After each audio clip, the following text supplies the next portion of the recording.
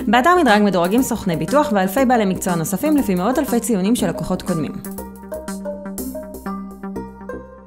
שלום, אני יגאל ואני סוכן ביטוח, והיום אנחנו הולכים לדבר על ביטוח שיניים.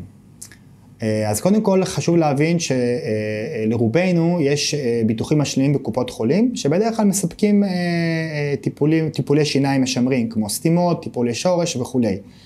קוראים לזה רובד בסיסי.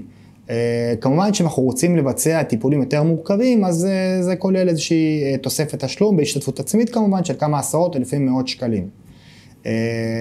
חשוב להבין שביטוח שיניים זה בעיה שמטרידה המון המון אנשים, אבל לרוב רוב רובנו יש את רוב הפתרונות דרך קופות החולים.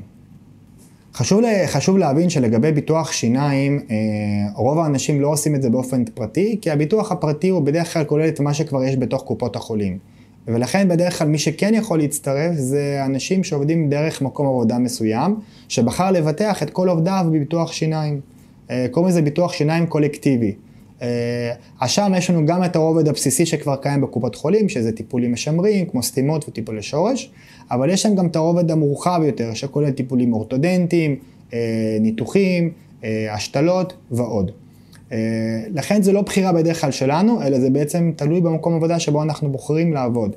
אם אה, שואלים האם כדאי לעשות ולהרחיב את הביטוח שיניים דרך מקום עבודה, אז אה, זה נורא נורא אינדיבידואלי. אם אנחנו משפחה שבדרך כלל כן יש בעיות שיניים לילדים, לאבא, לאימא, אז התשובה היא כן, בוודאי שכדאי להרחיב.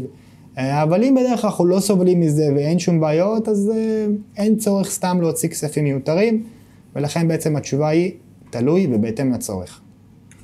אז כדי להצטרף לביטוח שיניים, אנחנו יכולים לעשות את זה דרך קופת החולים. אה, בדרך כלל בקופת חולים הביטוח המשלים אה, יש כל מיני רבדים, אז אה, ככל שהרובד גבוה יותר ויקר יותר, ככה בדרך כלל יש לנו בעצם או השתתפויות עצמיות נמוכות יותר, או סל, סל יותר רחב של טיפולים שיניים.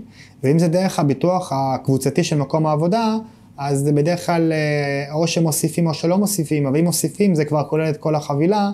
אה, ואז כבר אנחנו יכולים אה, אה, להשתמש בטיפולים האלה מול חברת הביטוח. איך בעצם מתבצעת התביעה? אז אם זה דרך קופת החולים, אז אנחנו בעצם פונים לקופת החולים ומסבירים מה הבעיה והכל נעשה דרך הקופה. אם אנחנו בעצם מבוטחים דרך מקום העבודה, אז אנחנו צריכים לפנות, בדרך כלל יש מוקד ייעודי של אותה חברת ביטוח, אנחנו בעצם פונים לאותו מוקד ייעודי, מזדהים לפי תעודת זהות, אומרים שאנחנו מבוטחים דרך המעסיק הספציפי שאנחנו עובדים בו, והם מבקשים לבצע תביעה. אה, בדרך כלל המוקד שולח לנו את כל הטפסים הרלוונטיים לחתימות, אם צריך לצרף אישורים רפואיים אנחנו מצרפים, וניתן לבצע אה, אה, ולתבוע את אותו ביטוח מול חברת הביטוח. באתר מדרג מדורגים סוכני ביטוח ואלפי בעלי מקצוע נוספים לפי מאות אלפי ציונים של לקוחות קודמים.